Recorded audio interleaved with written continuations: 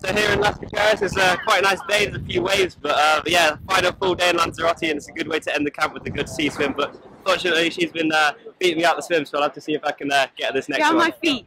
Sorry? Have to get on my feet. I will do. Yeah, I'll have to try and just uh, spin past you I'm at the end, fast. but I don't think it'll, I don't think it'll happen. But uh, yeah, we're just gonna have one final swim, and then uh, that'll be it for the week. And then Showdown. this is uh, it's all or nothing, I guess.